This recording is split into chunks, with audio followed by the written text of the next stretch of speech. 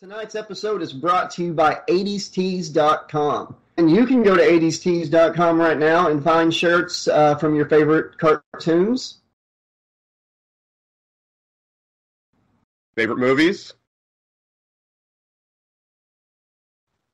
favorite horror movies, Favorite TV shows?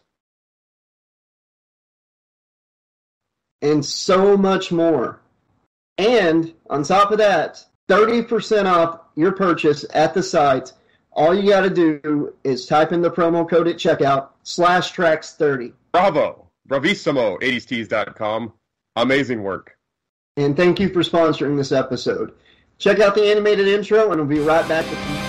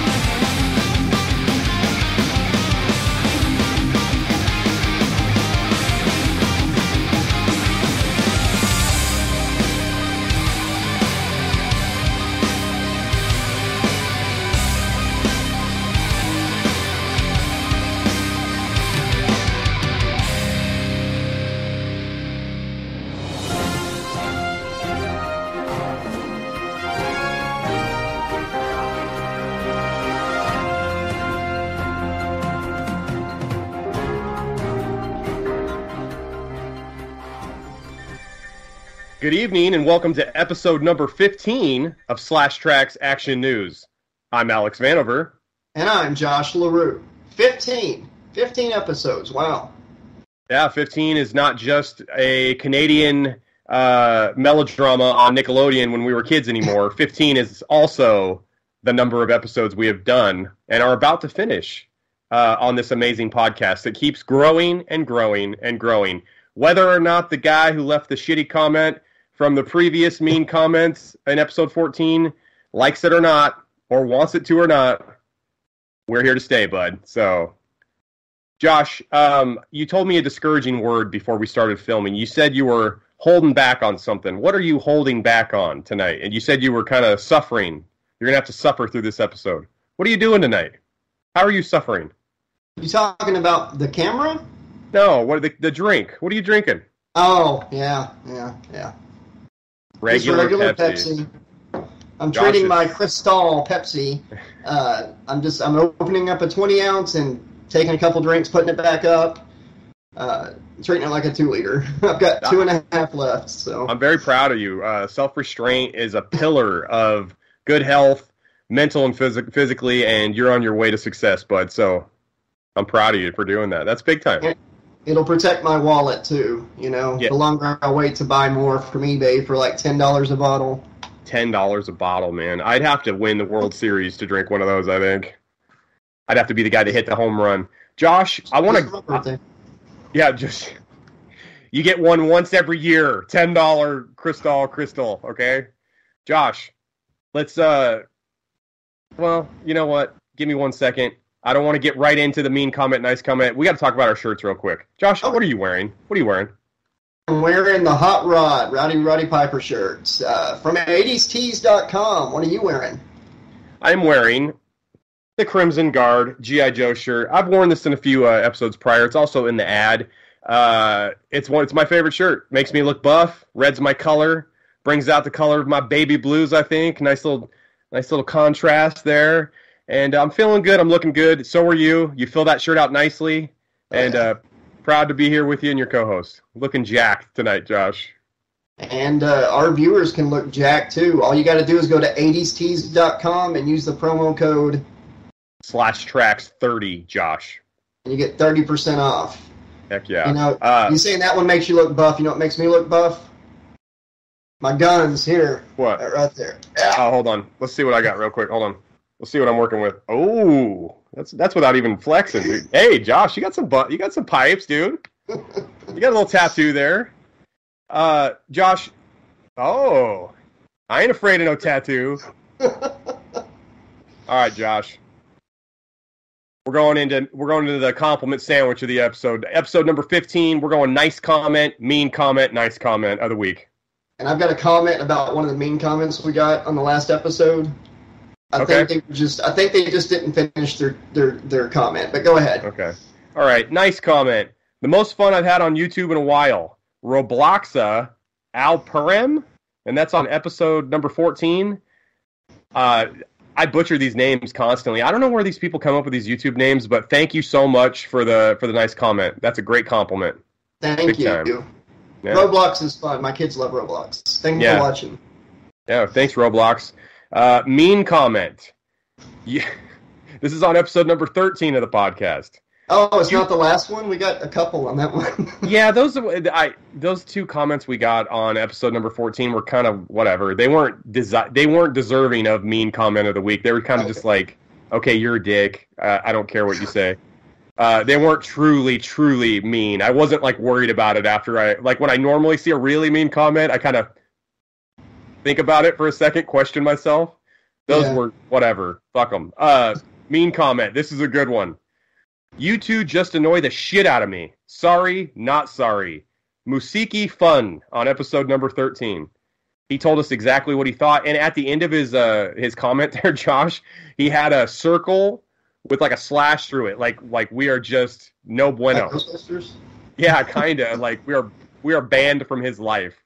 Well, you need to Masiki your fun elsewhere, you know, and uh, if it's that bad, don't take the time because apparently it's good enough that you want to stick around long enough to leave a comment and give us that view. So uh, I guess uh, intelligence and you know charisma just uh, ruins this guy's day. It annoys him. He's annoyed by charisma and intelligence and fun. I don't. I mean, when people leave me in comments like that, the, the first thought I have is, I can't believe this guy has enough time in his day to watch something he doesn't like, and then not only watch it, but stay and leave a comment on it. If I don't like something, I just click off it and go to something else. We I'm had one. On dick, episode- you know? Uh, we had one on episode 14 that just said F. And what I think happened was they were trying to write fun show, Mm-hmm. you know, and they weren't paying attention or something. Yeah. And they only got the first letter on there. So I, I replied to their comment, the F, then I put a space, U N, finish the comment next time. I uh, if you I saw that comment too, um, the F, just the F, and I if you look at my response, um, mine's edited, so you can see that I edited it because my very first response that I sent was F you, and then I was like, I, I was like, I, I'm not. That's taking the low road. I'm gonna take the high road. So I kind of I said something else. I can't remember what I said, but yeah, my first response was F you. I should, if you'd left it, I could have put F U N show. Um, could have been a little, could have been fun there. And I just want to say for anybody watching, if it's if I'm like looking down, it's because I've got the screens here in front of me with Alex here, and my camera's up here, so I can't just constantly look up at the camera. You know, I'm kind of looking everywhere. Josh, So, that's I think that's. Josh, I think that's nice that you think people are just zeroed in on you the entire show. But uh, I, I would say nine out of ten people watching this are in bed right now, asleep, uh, listening to us with their phone on the pillow. They're not looking at either one of our mugs right now. But that's nice that you think they're just looking deep into your eyes right now the entire episode. Oh, I wonder what Josh and Alex have to say. Oh my God, I've got to look right at them. Oh, He was killed by the giant horse cock. what's Somebody's that? half asleep. Somebody's half asleep right now, and they're like, "What? What the fuck are they talking about?" Oh, So okay, that's just in case somebody's asleep there. okay. Um, Just Hey. woke them up, made them made them pay attention. All right. Uh, enough with scaring people that are asleep listening to the show at two o'clock in the morning. Uh, last mean no, I already did mean comment. Let's you you distracted me, dude. I'm out of the zone. Last nice comment of the segment of this show. You guys seriously brighten my day, and this is from Corkyok Vegas uh, on episode number fourteen.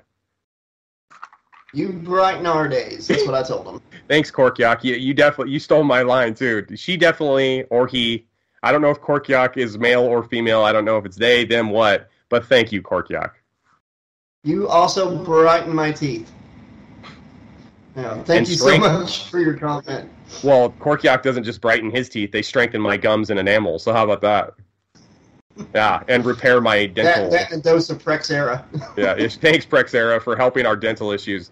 Um, Josh, let's get into fun facts tonight. Let's do it. All right, first fun fact.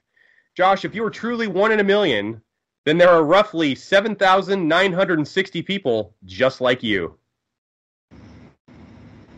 Okay. You Yeah. just ruined it, but okay.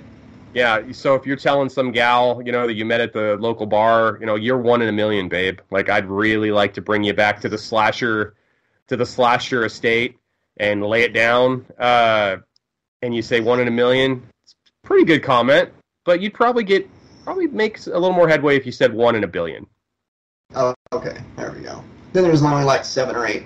Yeah, yeah. So there's only yeah. So you know, pick up your I don't, game. think, I don't think my wife would appreciate me doing that either. You know, might be a little Well- crowded back at the slasher estate. the slasher state. Hey Beth, just brought this brought this chick back home from the bar. I'm gonna try to sleep with her. Uh, unfortunately, I said she's one in a million as opposed to one in a billion. So I'll let you know how things go.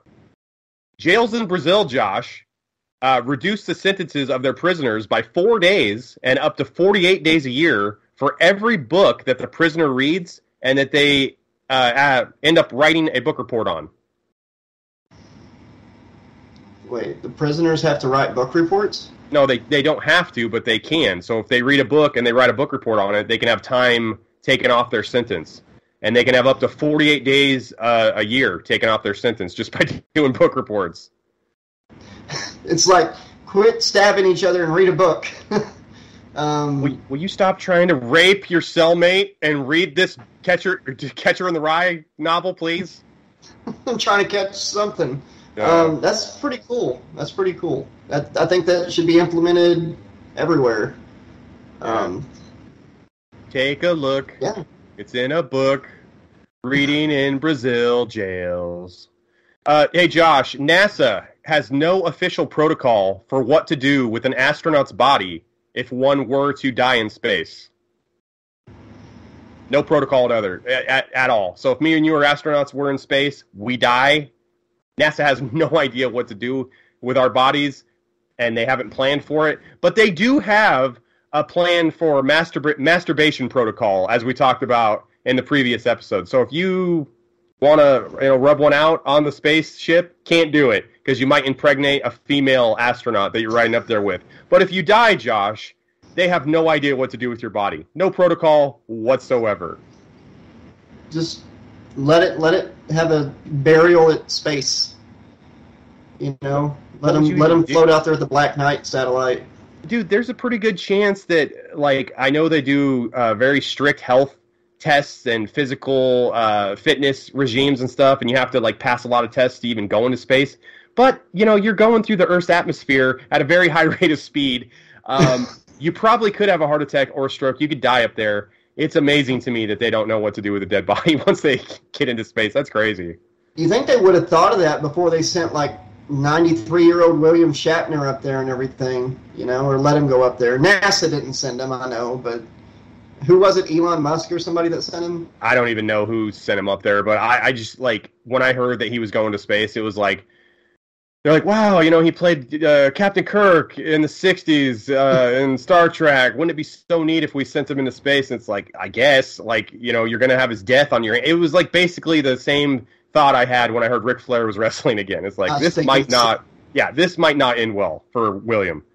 I was did he- thinking the same thing uh, a second ago. You beat me to the Ric Flair thing for sure. Did Shatner did Shatner have his toupee on when they went into space? Was that under the helmet? How's that work? Was he because he's been bald? He that's not his hair. I'm not Yeah, I'm not breaking news here. Like that's not his hair. And Burt Reynolds also had toupees, by the way. Burt Reynolds had so many toupees and expensive toupees that when he got divorced from Loni Anderson, um, there was actually the cost of his toupees were figured into the divorce settlements because it was considered like an asset that he had. Like he had like hundreds Wow. of thousands of dollars of like specially made toupees. Yeah, for real. I don't want to say a name because I don't know if he'd want me to say his name, but a friend, acquaintance, really, a friend of a friend, uh, went and had this um, special toupee made. It cost him like a thousand dollars, a little more. He had to get insurance on it. Uh, it was like real hair. It's not. It's not exactly an implant. There's glue used. It's like a permanent toupee. Yeah. And within three weeks, he had to remove it because he had he was growing mold. Um, On the top of his head because of the moisture, right? That was Yes. trapping in between it. yes, and they refused to refund him or replace it or anything. I don't know the name of the company, but uh, I was like, you should sue those people, man. Um, I, I just thought that was weird. I can't believe that happened. If I spent that much money, you know, I don't have that problem, obviously, but if I did, and I spent that much money, I'd be pretty pissed that I was growing, you know, my own mold samples. Uh, I mean, that's know, just on my head. that's just for your friends. Your friend should know better. Like he's he's bald. He's putting stuff on his hair. He's probably sweating and walking around or doing whatever he does with his hair on that he bought. They told he gonna- could. Well, I don't. Of course they did. They want to sell the product for a thousand dollars. They're like, so he's up there growing mold on top of his dome. Um, I just kind of feel like he should have known that was kind of like possibly could happen. I'm not. I don't even know who you're talking about. I'm just saying it's kind of like when I okay when I first moved out of my mom and grandparents' house. Um, the first time I learned a valuable life's lesson about sweat and mold and stuff. I, I like ran one day and I threw all my clothes in my hamper and then didn't go back to the hamper for like two weeks. well, guess what Oh happened? God! all the clothes in the hamper were just destroyed with mold. I mean, that's kind of the same. You can't just be sweating on your toupee all day long and not expect some shit to go down. I mean, in in his defense, this is stuff that he, they told him would be safe to do. Like it was part of what the selling point of the toupee. So there, Yeah. there's blame on both ends there. I can put blame on both ends. Maybe he didn't do proper drying or Mhm. something. I don't know. But before we move on too far, I wanted to. You, we're talking about Shatner. Uh, you've seen Breaking Bad, right? Absolutely, I've seen. I'm I'm like rewatching it for the seventh time. Yes, I'm. I'm saving the last three episodes of Better Call Saul to watch all at once. So I don't know what happened last week or yesterday, or you know, I'm gonna wait till this coming Monday's over. I'm not gonna read any spoilers. I'm gonna binge. Me and Beth are gonna binge the last three episodes. Don't But get on social during, media uh, then if that's what you want to do. But the point I was trying to make uh, is during Breaking Bad, uh, Badger and Skinny Pete have this talk in an episode. I'm not a big Trekker. Like I like Star Wars. I've seen a little bit of Star Trek. I'm not really in the know about it, but they had this discussion when they were high on meth in an episode uh, about how every time characters were beamed down and beamed back to the ship, they were actually being killed and cloned. So over the span of the series, anybody that was beamed over and over, like it was like their thousandth thousandth clone, you know, or whatever, three hundred and fifty second clone, and they were killed the first time they were beamed down. Have you ever heard this thing? No, I only heard it on Breaking Bad. Uh, so like every time they say beam me, every anytime they beam themselves, they're already dead, and it's just a clone version of themselves, like a broken down version, over and over and over again that keeps Yeah. disintegrating. Yeah, they disintegrate it and then put it back together, you know, as a clone when they get when they get. That's how they get transported. Uh, that's that's very macabre and you know and sad to look at uh, Star Trek that way. Uh, but apparently, a big a big portion of the fan base uh, that's what they that, that's what they believe. So I think that Shatner doesn't have to worry about you know becoming a clone of his uh, car of his carcass, his dead body back in the '60s when he got beamed up over and over and over again. I think Shatner should have been worried about what kind of STDs he could have got from sleeping with different female aliens on every planet that he tried to discover. He's got some. that would be a fun episode. Yeah, he, yeah. Captain Kirk goes to the clinic to find out what kind of alien STDs he got on the previous episode's adventures. Wasn't Like, there a doctor in the cast? You know, yeah, That- that's that Scott, Scotty, right? Wasn't Scotty Yeah, the doctor? we need to I find. do it. I can't do it, Kirk. I don't got the penicillin. Yeah, you just took the word right out of my mouth, you son of a bitch. We don't have enough penicillin up here. We got to go to Earth, and we don't, we don't even know where we're at anymore. Um, Hey, Josh, did you know that a woman is more responsive to uh, romance when her stomach is full? Oh, it's the other way around with guys, really. What do you mean? Like when we're hungry, we're more responsive to romance? Because it's like cook us something, you know. Oh well, I mean, not when you're full though. When or when you're hungry, hungry. When I'm hungry, I'm hangry, dude. I'm I want to eat. I don't want to. I don't want romance. That's the last thing on my mind. I want a sandwich. I want lasagna. I want enchiladas. No. Uh, but I was just saying, man, if we ever, with our respective partners, man, if we ever try to get laid, man, maybe just go down to the delicatessen and bring them back a hoagie. Things might might grease the wheels of industry in our favor. You know what I mean? Yeah, yeah. I got you. So an all-you-can-eat buffet is like guaranteed love, right? No, because you'll fall asleep after you're done going through. For, well, we already discussed on the previous episode about buffets. You're getting one plate anyway. You're just getting charged more. Yeah, You're not- point. You're not. I'm going to say it again. Buffets are great in theory, like, but I. Okay, say you're going to a buffet and you pay the thirty nine ninety nine or whatever. It's got all this amazing stuff. You go through the line the first time. You're full of shit. Okay, you might go get a little a little bit of dessert or something. So you wasted money, and you're not going back again. Or maybe you go twice through the line, but you still only get like two smaller plates, which w- would equal the one big plate. Either way, it's the same thing. I don't know. If you're if you're a normal person, it's not really working out in your favor math wise. My stomach's growling while we're doing the episode too. Like I'm like. Are you hungry right now? I'm pretty hungry. I've, I've only had breakfast today. yeah. So- Drink that Pepsi and uh, get your game face on. Let's go right into the next fun fact. In 1719, prisoners in Paris were offered freedom as long as they were willing to marry a prostitute and move to Louisiana. that's that's where the Larues came from, right there. They're all from Paris. They were all They all moved. To, we really did come from France, ended up in Louisiana, and spread across the country. But I don't know if it's that. I, my ancestors tried to assault, uh, assassinate royalty and were kicked out of France. Um, That's what you want to think. for another day. That's what you want to think. It, it, turns out that your ancestors were the ones who were like, "Here's a hooker. Here's some land. Get the hell out of here. See you later. The story that, that, that we've been that's passed down through our family is the one of the assassination attempt. But I can see it. That was just their cover.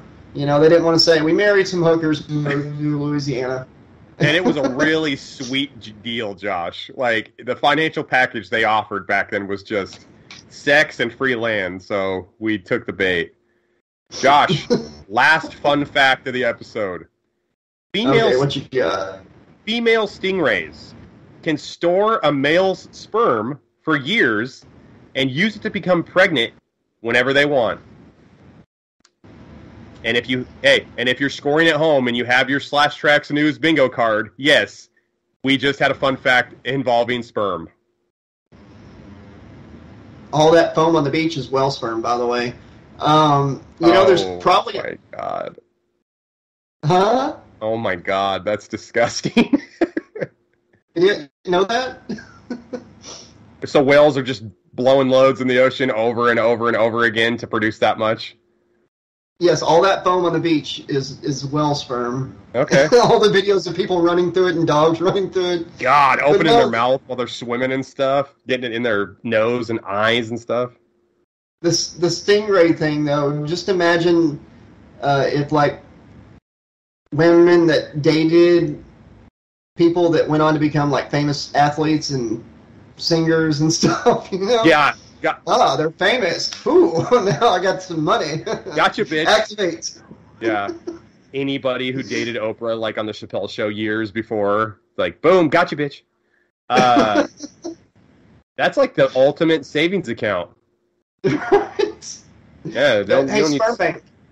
yeah, you don't need to save money anymore. Just save somebody's load for a rainy day. and if they become famous or successful, boom, you're pregnant. There you go. Hey, Josh, let's uh, move off the whale sperm talk and uh, the stingray sperm talk, and let's move into slash Trax uh, sports. Let's do it. All right, 29 years ago, last week, Robin Ventura of the Chicago White Sox, he was about 23, 24 years old, charged the mound after getting beaned by a 46 year old Nolan Ryan. So he gets beamed by Nolan Ryan in a baseball game. He takes umbrage with it. He decides to charge the mound. Nolan Ryan's 46 years old, got a 23 year old stallion running towards him. Nolan Ryan doesn't run from the situation. He takes his mid off, motions for Robin Ventura to keep coming, throws Robin Ventura in a headlock, and proceeds to beat the living piss out of him. So Nolan Ryan beans him. Robin Ventura charges the mound, and then Nolan Ryan puts him in a headlock and beats the living shit out of him. And that photo of Nolan Ryan with Robin Ventura in a headlock, like doing this, you can find that in a sports bar anywhere near you, all over the United States, because it's one of the greatest moments ever. Nolan Ryan, he he was the pitcher for the Rangers, right? Texas Rangers. Yeah, yeah. You don't Um, fuck with people from Texas, man. Mm-mm. No, that guy was um in the off season. He owned a cattle ranch, and part of his like workout regiment was just like milking cows and chasing bulls and driving a tractor and milking. Yeah, whatever. He um, but Nolan Ryan had one of the most uh like lengthy careers of a baseball player. His longevity was like unheard of. He pitched in the 60s, 70s, 80s, and 90s and he threw seven no hitters. So nobody has even came close to that. So seven games uh, he pitched in his career, he no hit another team. He also has the record for one hitters, and he has the record for two hitters. So Nolan Ryan, most strikeouts ever, and most ass whoopings on rookie players in a game too. Apparently, just a stud. and of course, he's from Texas. That's the thing. The team was Yeah. the Texas team. yeah, of course, Ryan. the ass kicking that happened was in Texas. That, that's I knew Nolan Ryan. I had a lot of Nolan Ryan cards when I was a kid. I I tried collecting baseball cards and basketball cards for a while, even though I didn't watch it. yeah, It was just fun. Um, Nolan Ryan. killer cards. Did you Yeah, ever have those? Yeah, I had a. I, I collected. Uh, I didn't just collect baseball cards. I collected Garbage Pail Kids cards. I collected Star Wars cards, Alf cards, Ninja Turtle cards, any kind of like Batman. Um, I still have all my old uh, Golden Age WWF cards, like from the early '80s, uh, that with the blue border. Pretty cool. I want to uh, make a, slash trax note for the wrestling topic tonight. I want to bring up if you remind me about wrestling buddies. That's something I wanted to remember. Okay. Uh, but because you, are talking about the WWF cards, reminded me of that. But yeah, I, I, I tried collecting cards like sports cards. I've tried. Uh, I tried playing baseball as a kid, and I got within my first like three practices in first game, I got hit by the ball like seven times oh as a damn. magnet. So I was just I, I got tired of getting hit. Um, but yeah, I had all those cards. I had like Batman, Batman Returns, uh, Ghostbusters. Uh, that was a lot of fun. The 80s and 90s were a great time to be a kid. They really were. It's also a time when they just mass produced anything collectible. if it Yeah. said it was collectible in the 90s on the box, chances are it's actually not collectible. Uh, it's not. You know what I mean? It's like, or it's like a collector's item. If it says collector's item, mm-mm. It's the How many shit that. people bought? Go ahead. How many people bought the Death of Superman? Like like Yeah, millions exactly. and millions. Yeah, breaking You of the bat, where Bane breaks Batman's back. Any comic Nothing. any comic that said number one uh, in the 90s probably wasn't the actual number one. It was probably just number one for that comic line of that time frame. So, like, I remember when I was a kid, uh, they had like the Uncanny X Men, and then they had like the new X Men. But I remember in the 90s, they kind of rebooted the X Men, and everybody was like, oh my God, X Men 1, 2, 3, 4, 5. And everyone was trying to get these new X Men, number 1, 2, and 3 those aren't worth anything. Nothing. Like you, they're probably they'd be worth more if I wrote the show rundown on the pages. You'd make more money from uh, clicks on this episode than you would from actually selling the comic. Exactly. Hey, Josh.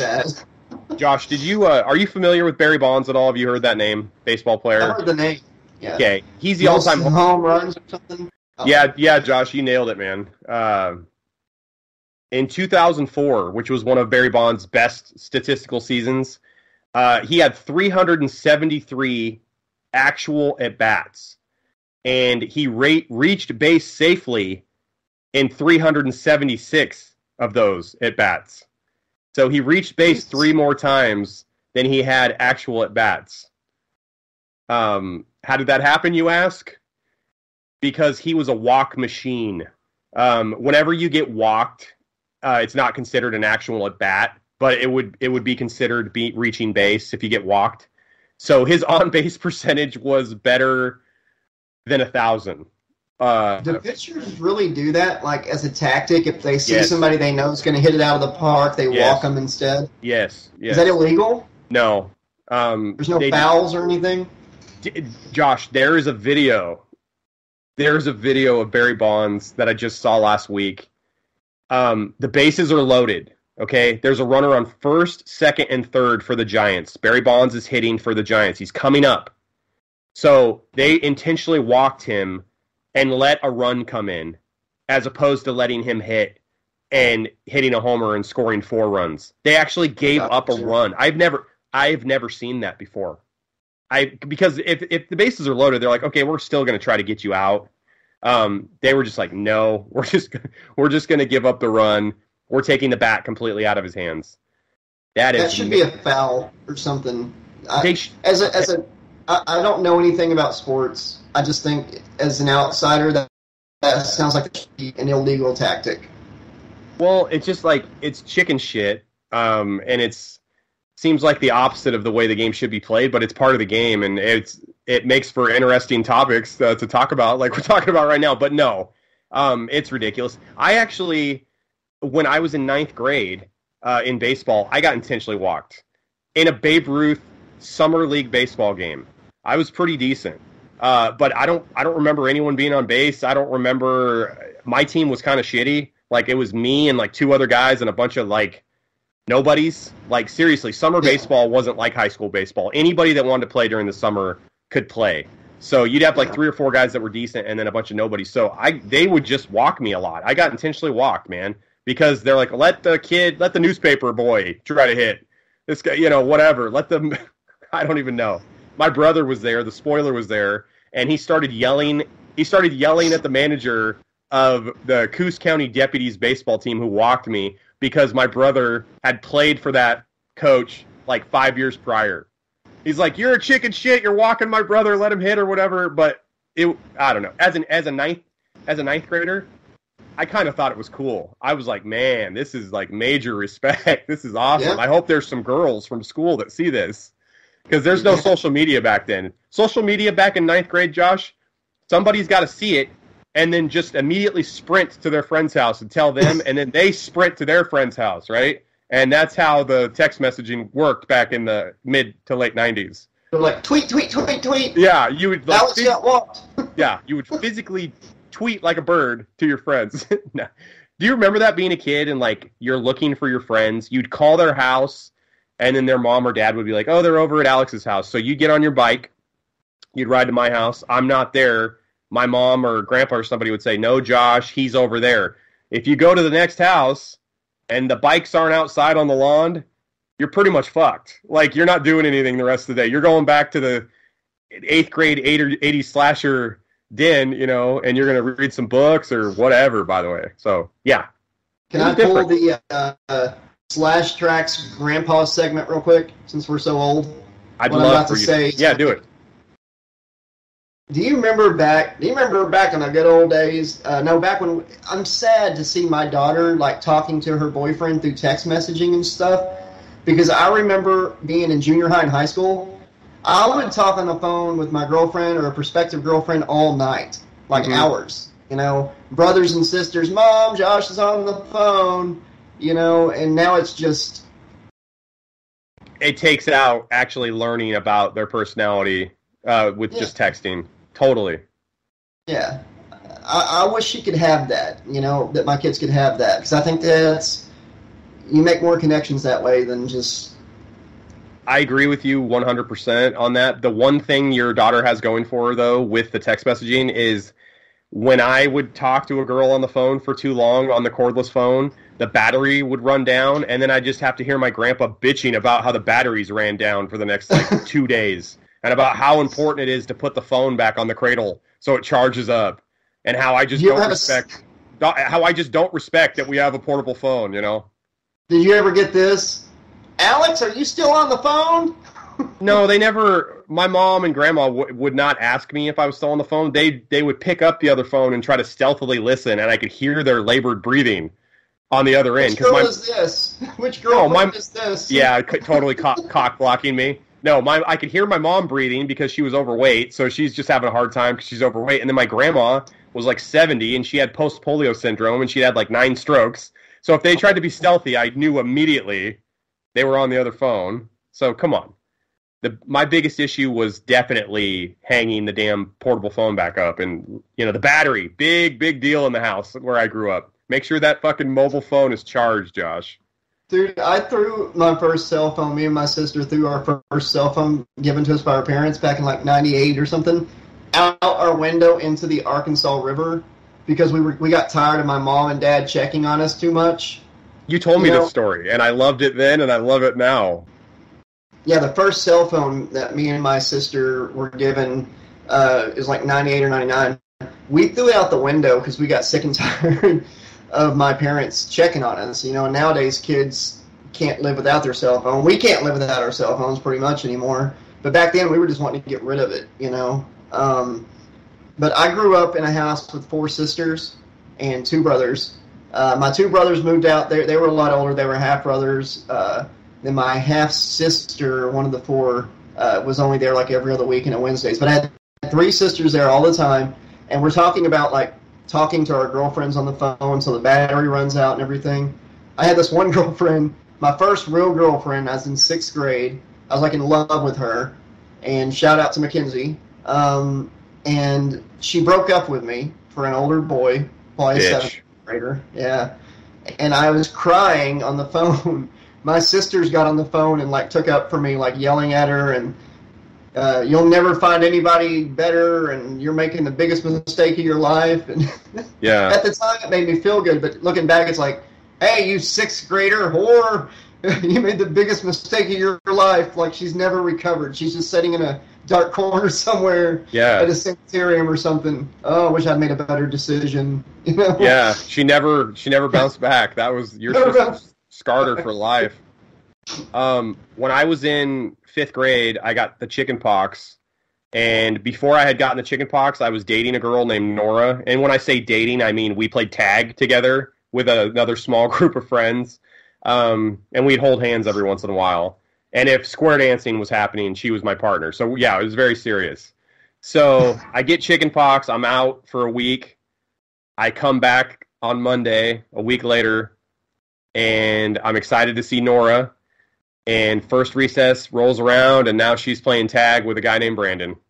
And Aw, yeah, she she traded it. She traded me in.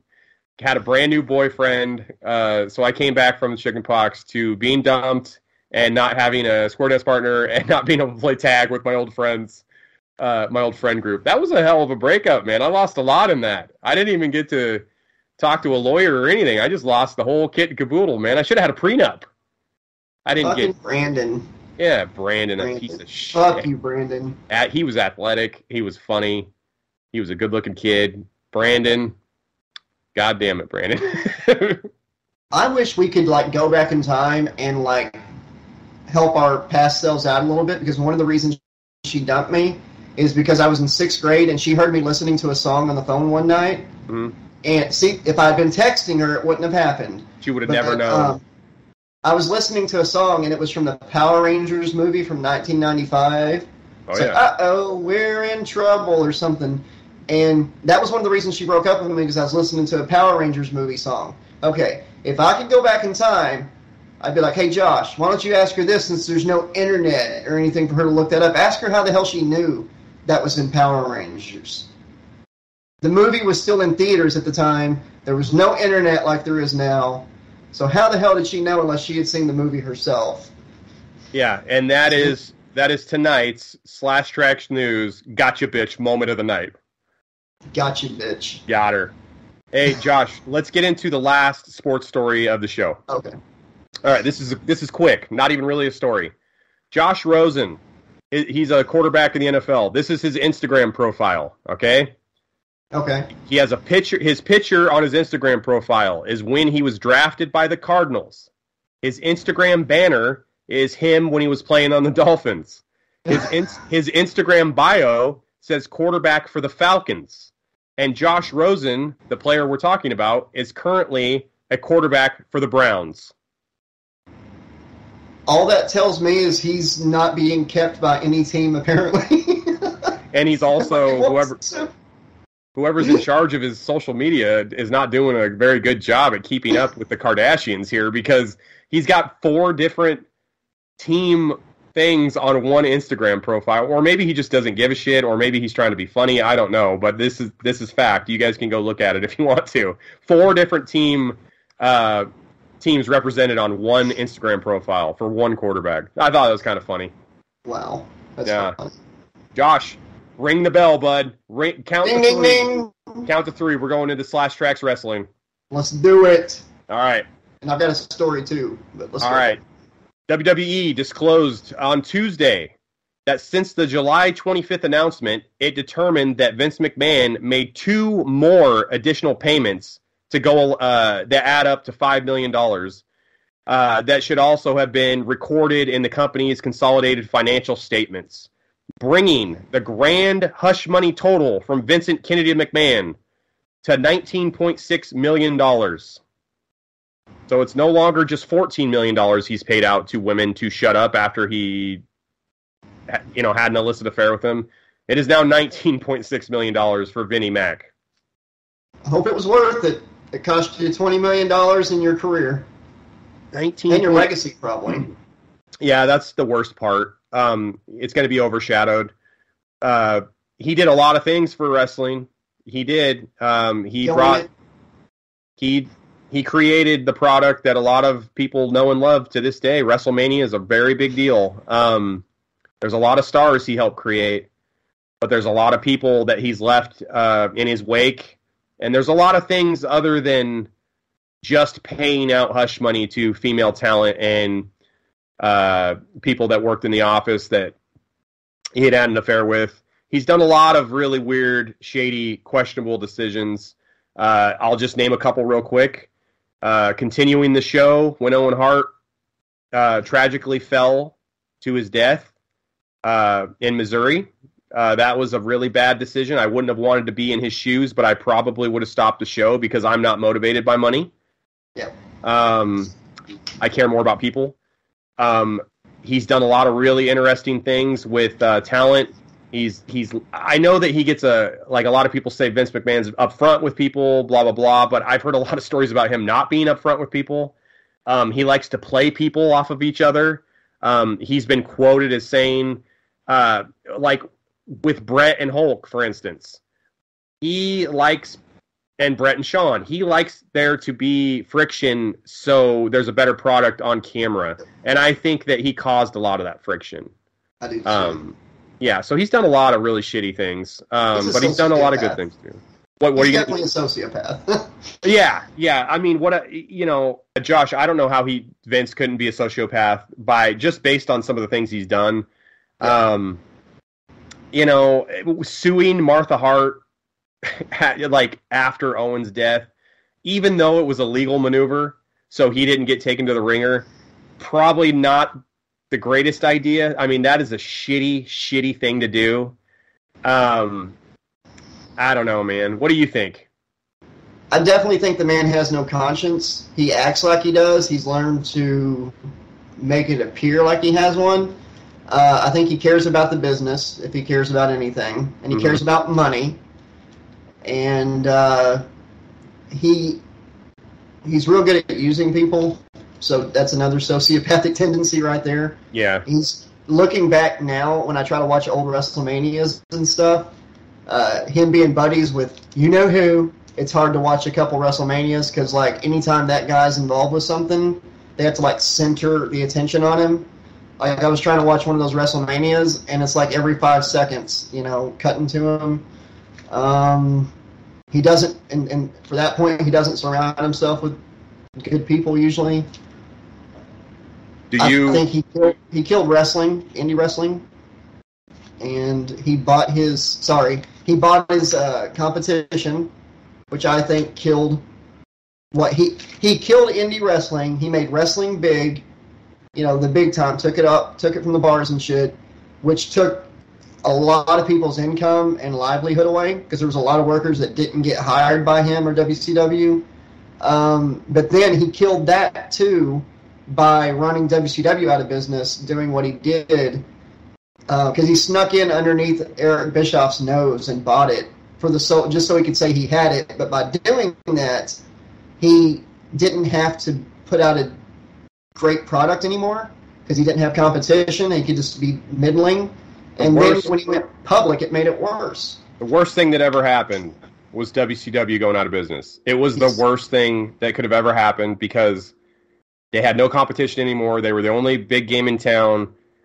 As soon as you reach the mountaintop, uh, you're supposed to be at the bottom of another mountaintop. I and it's really weird because you see all these things about Vince McMahon being just hungry for success and driven and everything. It seemed like as soon as WCW was gone and he owned them, he reached the mountaintop and he was just skating on the past attitude era crap for like 20 years. Like every day there was there was another uh, the Monday Night Wars DVD compilation. Let's do the same interviews over and over and over again about about how great we are. It's like we don't give a shit. Why don't you put a product out that's good? And also, can we please stop having Raw be three hours? And can we also stop having two nights of WrestleMania? And can we also please stop having five hour pay per views?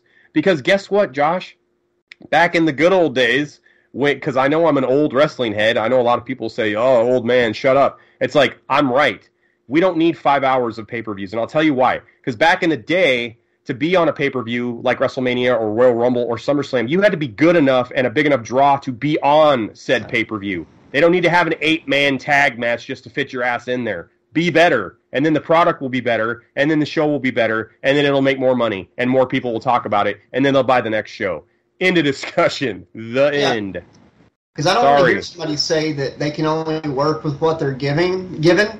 Uh, because I know a guy named Steven Williams that was handed the ringmaster gimmick. I was just going to say Steve Austin. I, I, you're 100% correct with where you're going with this. Yeah, and the ringmaster could have got he could have been fired because it sucked. It was horrible.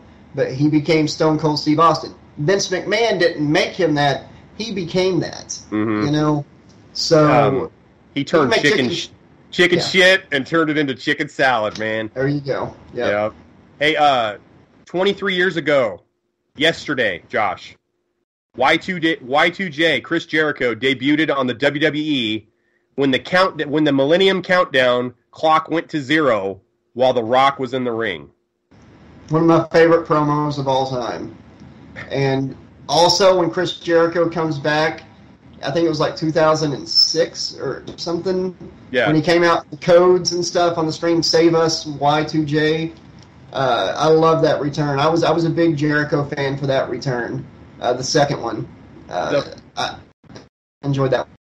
I was still a WCW fan in '99. I stuck with them until the end. So when Jericho debuted on Raw and The Rock was in the ring, that was showing a lot of confidence in Chris Jericho as a performer. For his very first segment to be put in the ring with at the time because Stone Cold was hurt. Yeah. Put put put Y2J in the ring with a microphone against the number one wrestler in the company at the time. And I'll never forget when Chris Jericho he, he comes out and The Rock is and who and who are you? And he's like just and Jericho's about to answer and The Rock's like, It doesn't matter what your name is. Oh, it was great. That was great. Those two guys, do you remember when um, The Rock and Jericho were with Stephanie McMahon and they just went back and forth talking about Stephanie McMahon's boob job. Yeah. oh man, that was great TV. I, I, loved a lot of the Rock and Hurricane too. That was some great shit. Called and him the, the Hamburglar. Rock, yeah, the Rock is the one that told Vince to put the Hurricane over him that one night on Raw. That was yeah, all the Rock. I like the dude. The Rock backstage. Um, wasn't a political guy, man. He got over based on just his performances and his charisma.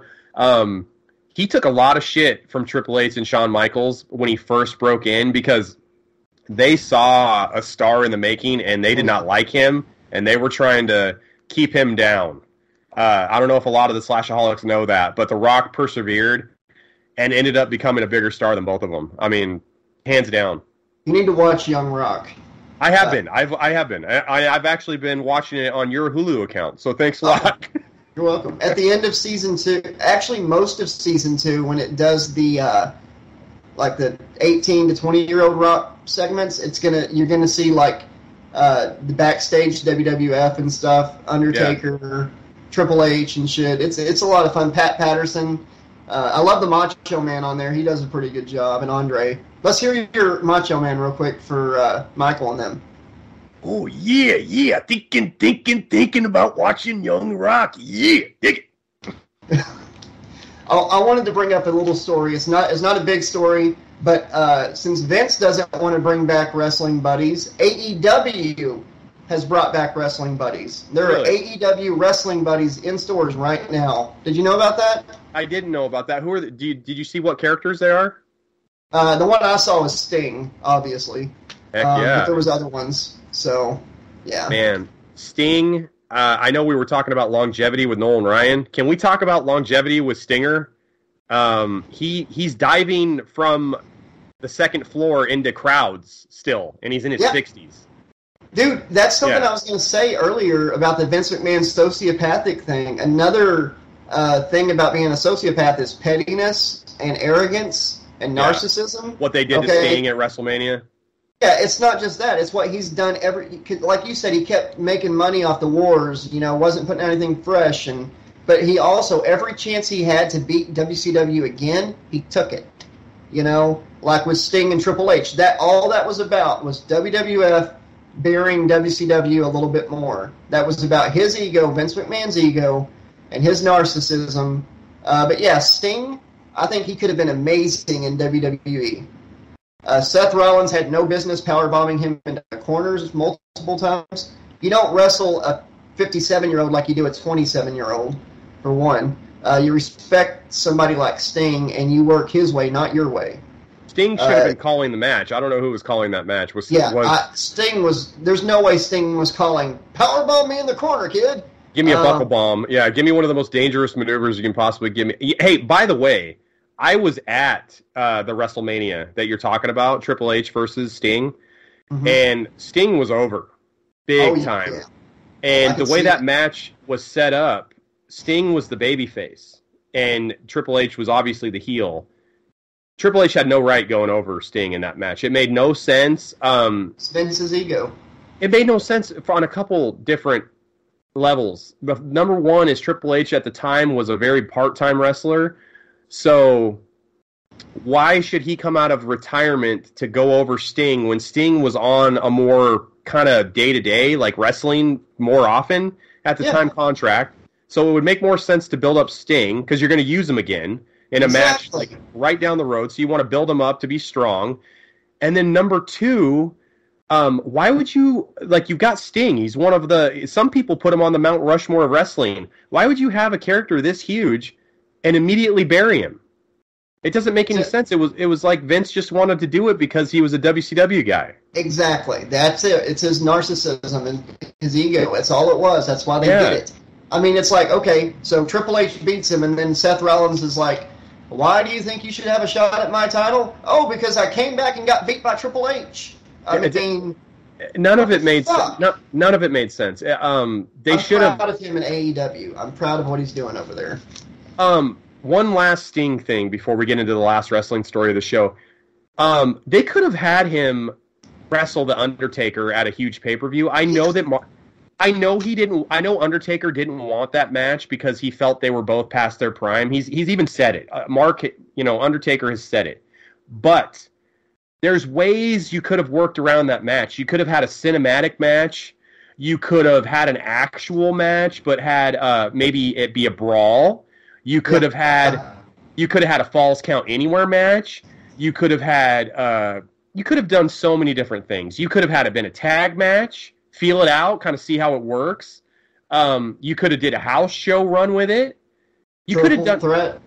yeah. I mean, else out there. you could have done anything. I feel like if you would have had Sting versus Undertaker, that could have main evented any pay per view at any time. And I feel like it probably is going to sound ridiculous. If you had them main eventing a pay per view in 2022 at the ages they're both at, it would still sell out.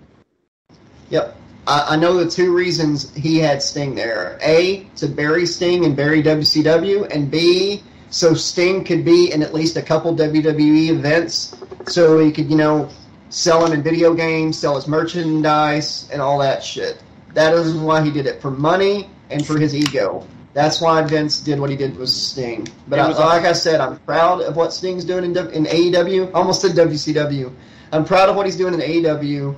I'm happy that AEW is doing so good, and I hope they just get bigger. I hope it becomes another WCW uh, one day because WWE is just.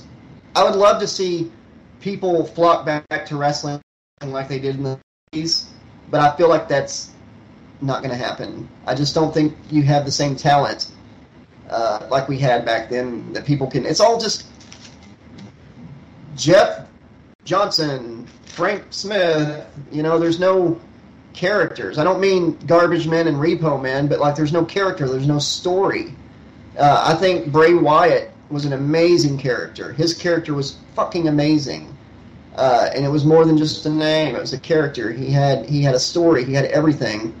Um, but yeah, I'm, I'm happy. I'm glad Sting's given it you know one more go, and I think they're handling him correctly. I love seeing like Jake the Snake as a manager over there.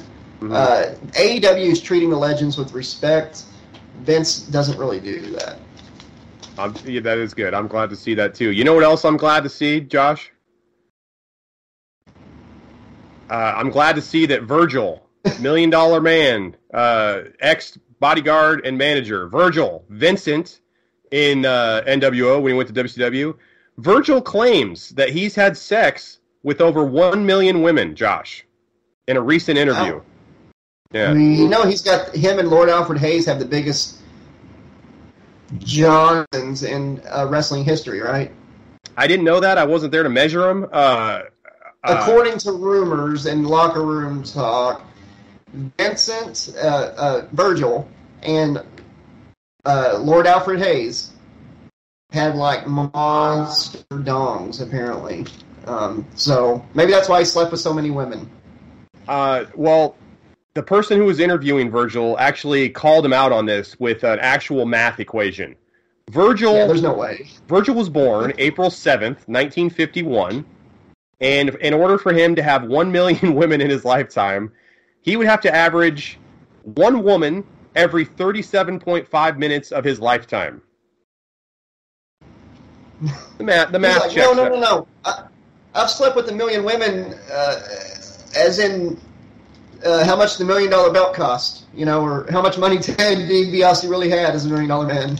Dude, Virgil, I don't know if you guys know this, the Slashaholics know this about Virgil, but this guy is a joke. He, like, sets up, like, you know how you'll go to cons and people will have pictures of themselves wrestling behind them, and they'll have a six by eight, you know, a six footer or an eight footer table with a skirt around it and, like, a tablecloth? He he sets up his table and his pictures like in subways, not conventions. He just subways, bus depots, restaurant doors. There's pictures all over the place. There's pictures of Vir- it's called lonelyvirgil.com. There's pictures of him uh, at conventions with nobody in his line at all. Uh, Virgil's not sleeping with a million women. Okay, first of all, and number two, he's got to be one of the weirdest guys that's uh, ever been in professional wrestling. He's got this weird gimmick now where he talks about his meat sauce and he talks about Italian restaurants. He's got this thing about Olive Garden. He says he has the best meat sauce in the game, and like, I, I don't know, man. You need, you guys need to look up Slashaholics. Look up Lonely Virgil. Um, he's a really interesting guy. He's weirdo. He's a joke. He's been a joke since the beginning, anyways, because the whole reason he was called Virgil was a jab at Dusty Rhodes, and the whole reason he was called Vincent was a jab at Vince McMahon. Yeah. Like, his gimmicks have been jabs at other promoters, you Yeah. know. yep. And he wore wore peppermint uh, tights to wrestle. Uh, I always hated that shit. Uh, so hey, yeah. So Virgil, go away. You didn't sleep with a million girls. All right, Josh. Let's leave the let's leave the wrestling in the past. Let's leave Virgil and his meat sauce and uh, Lord Alfred Hayes' big dong in the past, and let's go straight into horror and spooky news. Horror and spooky news. Let's All right. Ju- on July 28th, 1989, so last week, 33 years ago, Kane Hodder dressed as Jason Voorhees, appeared on the Arsenio Hall show promoting his new movie, Jason Takes Manhattan, in full character, and Arsenio Hall interviewed him as Jason the entire time. He asked him question after question after question, and J- uh, Kane Hodder didn't answer because Jason doesn't talk. He Yeah. did the whole interview not speaking. Arsenio and him were amazing in this interview. Oh, it's great. If anybody hasn't seen it, they should watch it. Uh, Yeah. It's a lot of dead, dead air. No, uh, wait, pun intended. Uh, dead air, but it's it's funny. It's fun. Uh, I like it when our I like it when Arsenio's like, so what do you do when you're not killing people?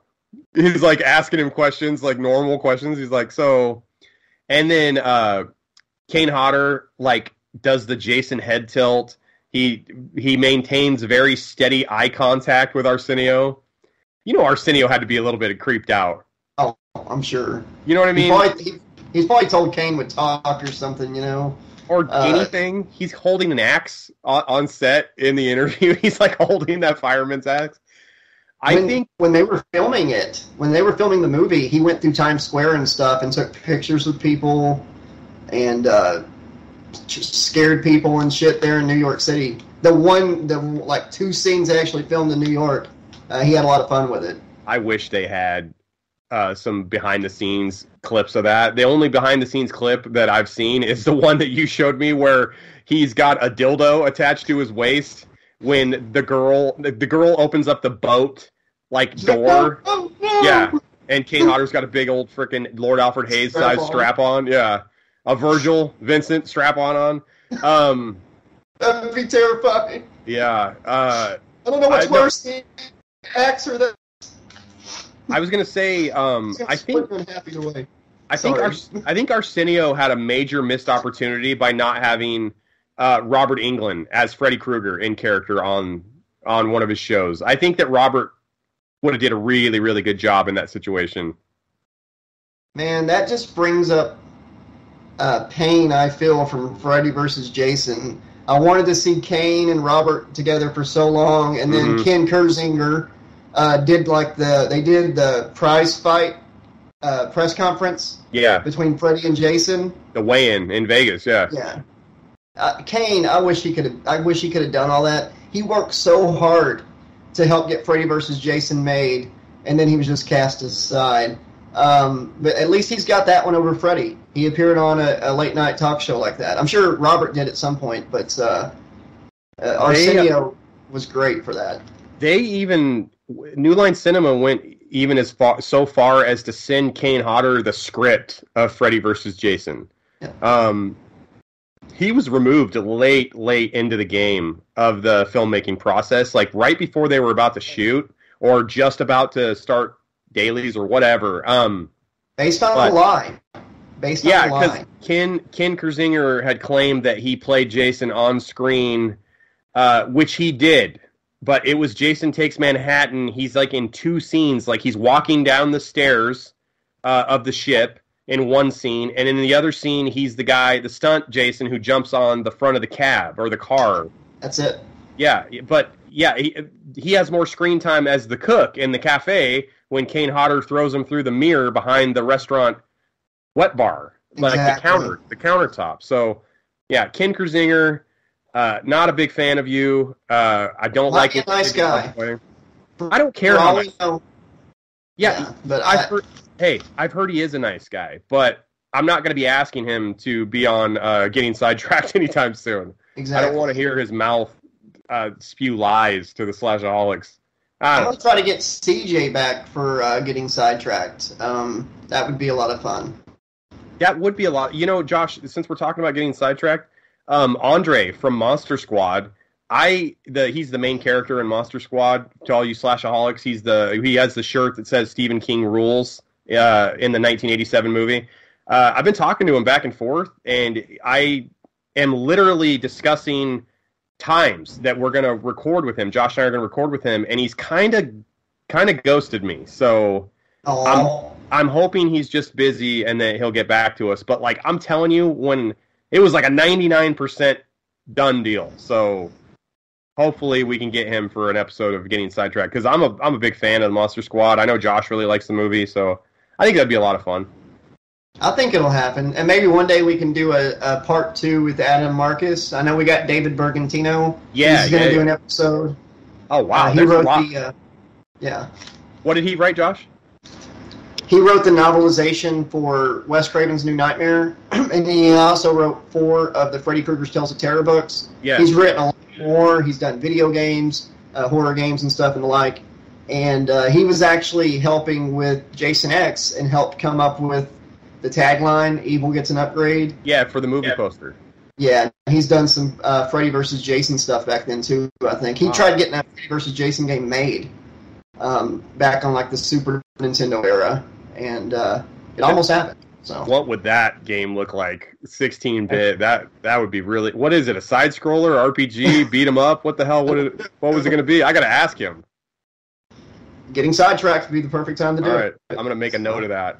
Uh, I- Josh, I think Andre, Andre, I think, yeah, I think he'll. That would be a lot of fun. He's I, from what it looks like on his social media accounts he's busy right now doing uh, monster squad stuff uh, like conventions and he's doing like showings of the film and like having meet and greets and stuff. So he's very busy. Uh, so i'm going to try to touch base with him again and if we can get him uh, locked in that would be a really big deal for the channel. So yeah i'm josh and i are putting in a lot of work on that and so we're going to try to make it happen for you guys. Um, second horror story of the night uh, we lost a very important person in the horror horror community, horror genre. Clu Gulager uh, passed away last week. Clu Gulager was uh, Bert in Return of the Living Dead. He's the one who owns, you know, the the medical supply warehouse. He's like the main character in Return of the Living Dead. Uh, he's he's also the father in Freddy's Revenge of Yeah. uh, Mark Patton. Goddamn cherry bomb. Uh, what that kid needs is a goddamn good kick in the pants, kick in the butt. Uh, Clu Gulager. Uh, he was in his 90s, and Clu Gulager got his start in Hollywood on westerns and uh, a lot of 1950s and 60s television. He had over 150 credits in film and TV to his name, and he definitely left a huge mark on uh, the horror horror community. So rest in peace, Clu. It was sad. Uh, it was a sad death. Uh, Clue was killed by Mr. Green in the billiard room with the rope. Uh, no, I thought you were about to say rest in peace. He was great. He's my favorite character uh, from Return from that Return of the Living Dead. Um, loved him in Freddy's. I just couldn't. I couldn't resist because his name is Clue. So uh, I thought it, was- I thought it was funny. Maybe it's not. I thought you were going to tell me we lost a great horror icon the other day, Olivia Newton-John. What the Uh, hell was she in? it was a horror movie. Xanadu? Grease. Yeah, Grease. When I Grease was the first. away. Yeah, Gre- Grease was the first horror movie I saw as a child. No, um, Olivia Newton-John was probably like besides Lucille Ball in uh, Lucy reruns was the first female that I ever registered as a child as like I'm attracted to her. Uh, in Grease, when she like wears all the leather at the end of the movie and sings the one that I want, I remember being six or seven and thinking like I don't know what this is, but I definitely think she's very pretty. I, whatever it was, whatever it was. And Lucille Ball, believe it or not, was another crush of mine. When in the old '50s episodes of Lucy, I just thought she was really pretty too. She Weird. was funny too. She was funny. Yeah, Lucy that- was that the whole package, baby. Yeah, Uh, Oli- Olivia Newton-John, uh, believe it or not, was I I think she was in her early 30s when Grease was filmed. She was not high school age. She was the they went the Beverly Hills 90210 route with that casting. Uh, God needed another angel, and Olivia was the one that he wanted. Ooh hoo hoo. Yeah. Um, she was 73 when she passed away this week. Um young One- really for nowadays. she so i'm trying to think i don't now don't quote me greaseaholics out there but olivia newton-john uh, it was either the one that i want or hopelessly devoted to you but one of the songs that she sang in Grease wasn't originally supposed to be in the film and like they had to like add it in later on or they had to or whatever but that was the only thing that got nominated for a major award That was hopelessly devoted to you. yeah, hopelessly devoted to you got nominated, I believe, for an Oscar, or and it wasn't even supposed to be in the movie. To begin with. That's how talented she was. Not only did was she able to get her big song in, but it was also the only song that was nominated. So that's that's kind of amazing. What was her big song in the late seventies, early eighties? Let's get physical. Let's, Let's get, get physical. physical. Yeah. Yeah, it looked like a Jane Fonda workout tape uh, before Jane Fonda had workout tapes. Hypercolor, uh, you know, wristbands, headband. She's doing like two and a half pound dumbbell arm curls. did she get? Did she try to get physical again in her seventies? Is that what happened? No, I no, I no, but I think, I think I don't, I don't know. I think I don't know. She had been battling cancer on and off for three decades, maybe four decades, and I I don't think it's confirmed, but I I kind of am speculating that maybe it had something to do with a reoccurrence of uh, her cancer, but I'm not sure. I don't know, so don't quote me. I have no Rest idea. She's awesome. Yeah. We loved Olivia Newton-John. She was great. Um, let's get into the last spooky story of the night. Okay. Josh, this is going to be a big one for you and me too. When I saw it, my eyes kind of lit up. Hocus Pocus 2, which is going to be dropped on September 30th on Disney Plus, is not the only thing that's going to be Hocus Pocus related that is going to be dropped. Next week, Hocus Pocus 2 is getting a berry brew cereal uh, from Disney and Kellogg's. And so they're getting their very own cereal. And yeah. uh, yeah, it's going to be like it's it looks really good. I hope it's better than the new Ghostbusters cereal because that wasn't very good. Yeah, it wasn't that great. It tasted Like- too Berry flavored. It was too fruity. It was like crunch berries. Um, the only thing that gives me pause about Ho- this new Hocus Pocus cereal is the fact that there's no marshmallows in it. Oh, There's none. It's kind of straight, like almost. They're going all in on the berry on the berry flavored, and I'm not sure if I'm sold on it. My daughter used. Uh, she plays Sister Evil on Slash Trax. My daughter Alexis. Uh, she used does. to- yeah, she used to want uh, Froot Loops uh, or Fruity Pebbles. I'm sorry, with marshmallows in them. Oh, And now yeah. they make those like regularly. Even the malto meal. We're a malto meal family because it's sweeter. The cereal's sweeter than the name brand. and you get a better deal, and you get a Yeah. hell of a lot more. So back in the day, before they had the fruity Dino bites with marshmallows, what I did for her when she was small is I would buy like a bag of marshmallow mateys, and I would go through and pick out every marshmallow in the bag and mix it into the fruity Dino bites for her and shake it up. Cereal's just better with. I'm, I'm a loving dad, but it's I'm smiling because that's the cutest thing I've ever heard, man. That's awesome. It's uh, marshmallows make a great cereal, and especially with like a licensed one like that around Mm-hmm. Halloween. I'm honestly surprised that they're not going to have marshmallows in them. That's Yeah, my uh, kid, I- it's a kid thing.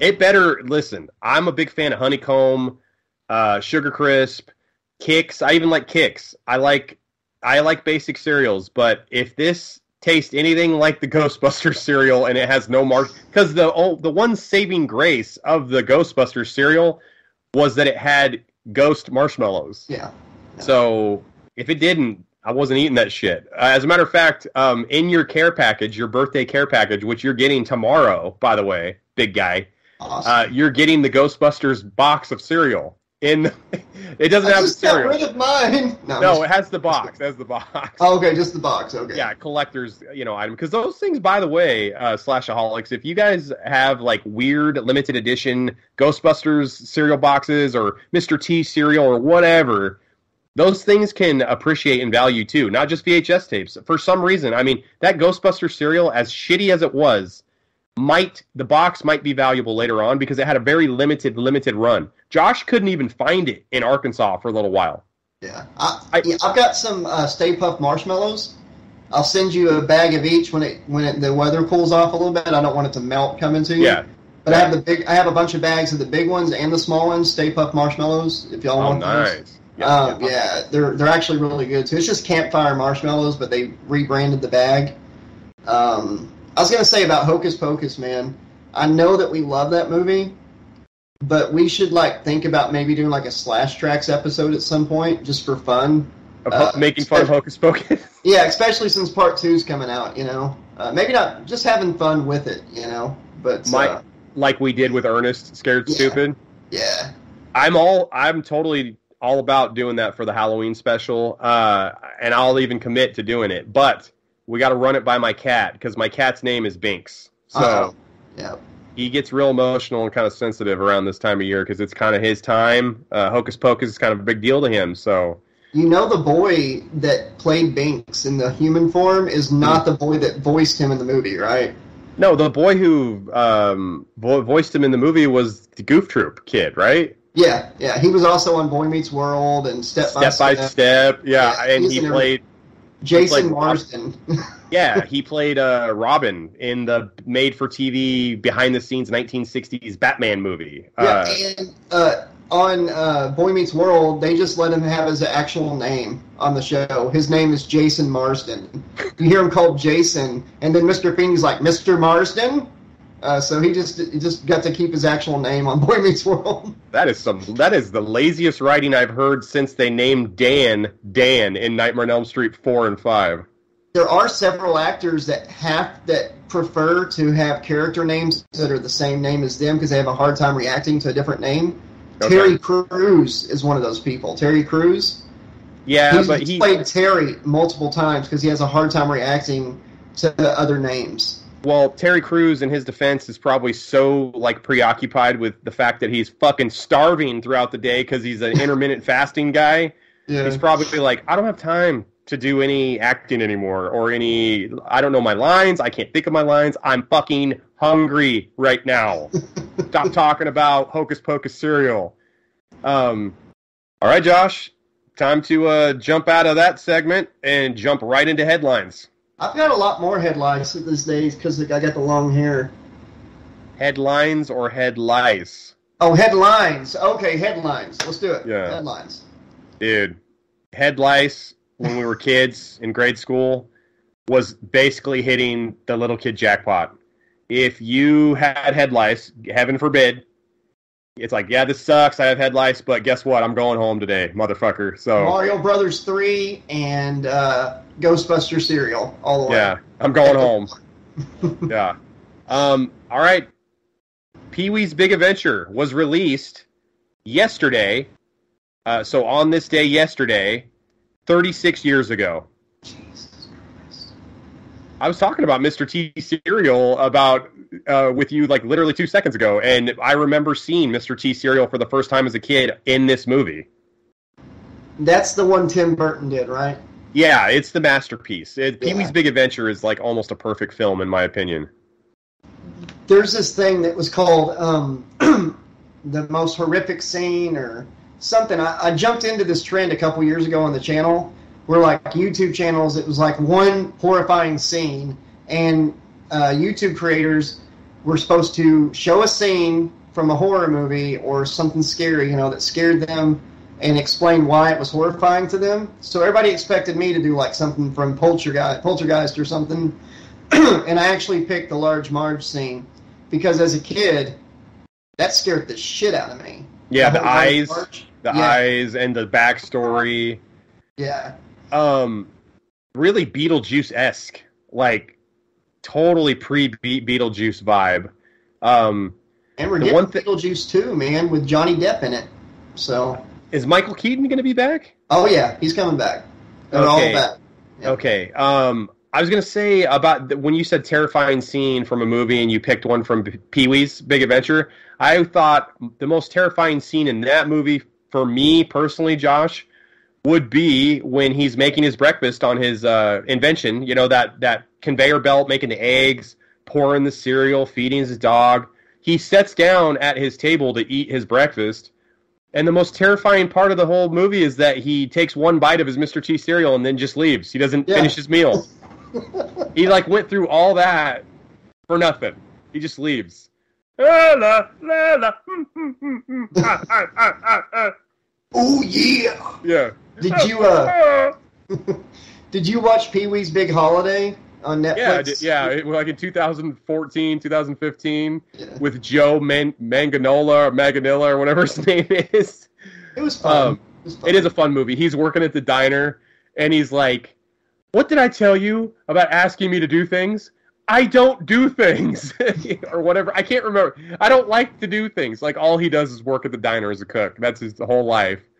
Um, which is really weird because the Pee Wee character in the previous movies was like all about traveling all over the you know looking for his bike, and then Big Top Pee Wee, which is a, a far inferior movie to Pee Wee's Big Adventure, but still pretty good.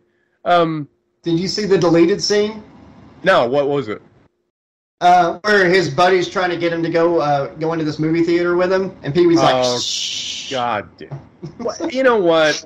The Pee Wee masturbating thing. It's like, okay, he's in a porn theater in the early '90s, and it's like, oh my God, he's masturbating. I've What? never judged him. Never What judged in the hell is he supposed to be doing in there? Taking notes? Yeah, taking notes for his next, you know, TV show or sequel. I mean, come on, dude, it's ridiculous. I've never Um, judged him for that. Never hated him for it. I was just making a joke. Uh, but yeah, not- I that's that that that that scene scared me a lot as a kid.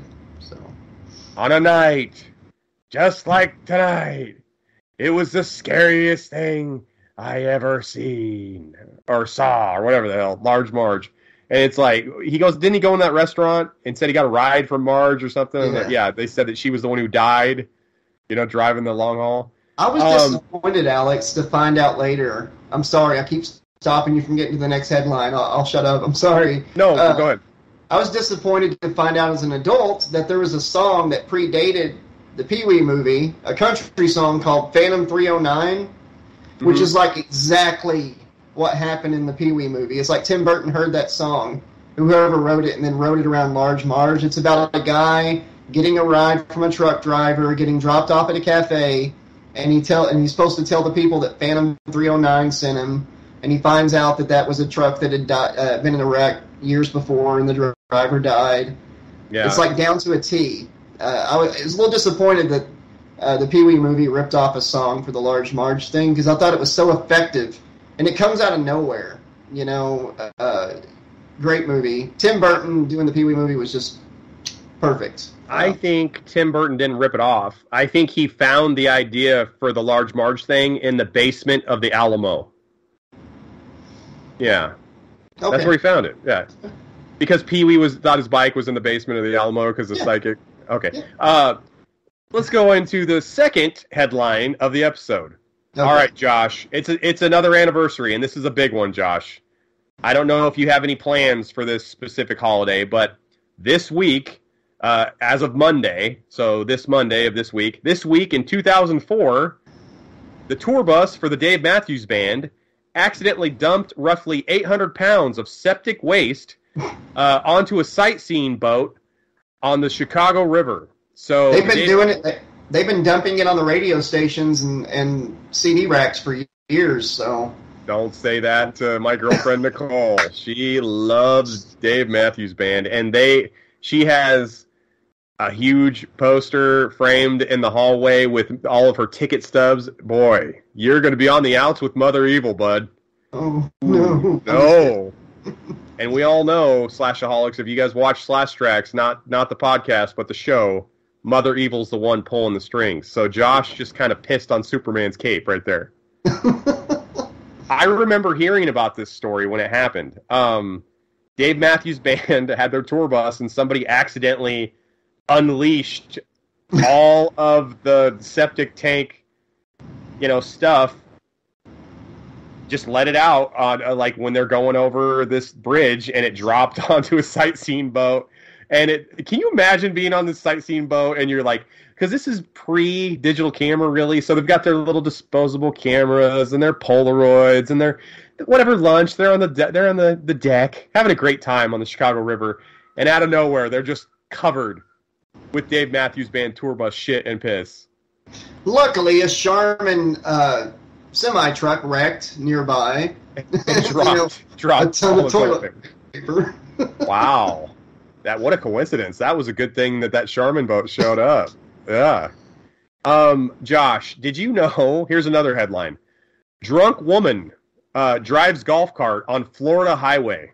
oh, you said it like that was a superhero. Drunk woman. she probably thought she was a superhero that day.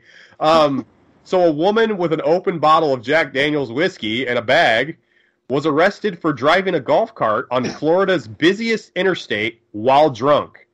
So she's driving in the center lane of the Florida's busiest highway, and she was reportedly uh, seen passing in and out of consciousness, ac- according to a truck driver who was actually a hero in this whole situation. This truck driver actually nudged the golf cart from the middle lane to the side of the freeway to safety.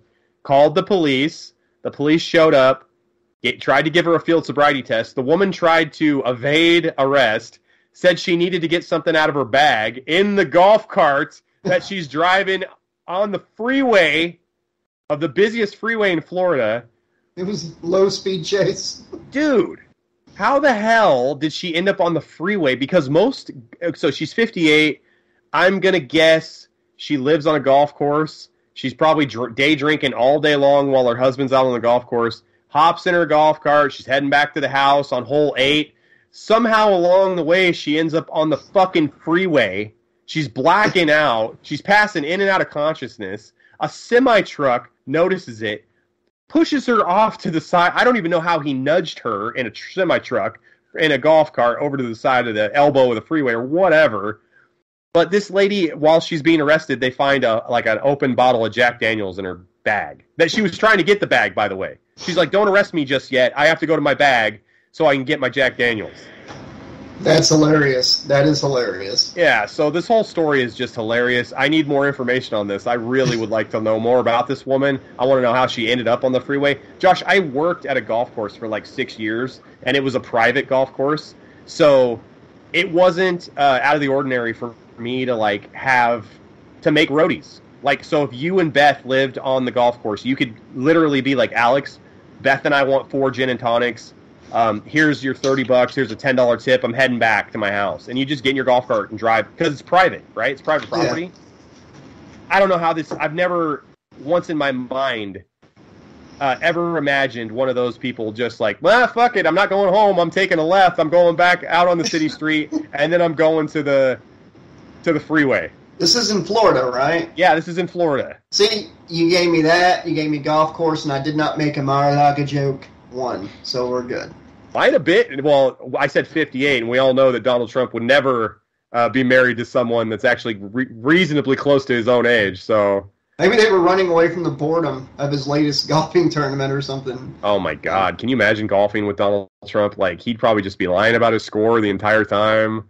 He's uh, upset that a, that he didn't have more fans show up after the whole raid thing, but I think they were just worried about their warrants and shit. They're like, we don't want to be around when this shit goes down. If it actually goes, if whatever happens goes down, we don't want to be in exactly. the vicinity of it going down. so they just take off in a golf cart. Yeah, uh, see you later. Heading to the freeway. I'm drunk as shit. I'm going to the freeway in my golf cart. Uh, let's get into the last headline of the show, the last story of the show. Let's do it. All right. Woman intent on revenge sets fire to the wrong house. These are some good stories today, man. Uh, so in North Carolina, a woman tried to scene in a golf cart. Sorry. No, dude. she tried to flee. She tried to flee though. Uh, North Carolina woman tries to set fire to her ex-boyfriend's house, but ended up setting fire to the neighbor's house. Um, she didn't do a very good job either because she was like legitimately trying to stack wood like you'd set like start a campfire, and she had like a can of oil, not gas um, yeah, she was like holding the neighbor's the guy. So she's trying to burn the neighbor's house down, not the boyfriend's house down, and she ended up holding the neighbor's dog. So she's like trying to start a fire like you'd start at a camp with like kindling and stuff with oil, not gas. The na- so she actually started a fire though, right? But it's not like burning the house down. It's just enough for the owner to come out and be like, "Hey, what the hell are you doing?" also, you're holding my dog. So the lady flees the scene with the guy's dog. Okay. The guy calls the cops. And anyway, this lady ends up getting arrested down the road. She's charged with felony first degree arson, multiple other charges. One of the other charges includes uh, kidnapping a dog that's not yours. So this lady. this lady shows up to burn her ex-boyfriend's house down so we don't know what the hell the ex-boyfriend did she goes to the wrong house ends up kidnapping uh, the neighbor's dog while trying to flee the scene of a house that she didn't set on fire. But she sure maybe as hell tried her, to. Maybe that was her master plan. You know, haha, you'll never cheat on me again. See what I can do. I'll make you the most irritating person in the neighborhood. You know, I'm going to mildly inconvenience your neighbors, and it's going to be your fault. no, she was trying to set. She was trying to set uh, like an example. She's like, "Listen, I still want to get back. I still want to get back with you. So I'm not going to burn your house down because I like your house. Your I'm gonna, neighbor's bur- ass. I'm gonna burn your neighbor's house down and steal his dog, just so you can see what I'm capable of. So if you don't take me back, this is what's gonna happen to you next. So you're just setting the tone, kind of the example. Uh, so Josh, I got to get out of here. Episode's over. I got to head to the freeway. I got a golf cart to drive onto the freeway, and uh, I'm gonna burn my ex girlfriend's house down. Hopefully, uh, but I'm gonna Or have half a bottle. Yeah, or her neighbors. I'm gonna have a half a bottle of Jack before I do it. But first and foremost, in the show, buddy. All right. Be excellent to each other. Thank you all so much for watching. Be sure to go to 80stees.com, use slash trax 30 at checkout. You get 30% off shirts from your favorite TV shows, movies, horror, video games, cartoons, so much more. Check it out. It's a great deal. With that being said, good night. Have a pleasant tomorrow. Say good night, Alex. Good night, Alex. Mahalo, dog.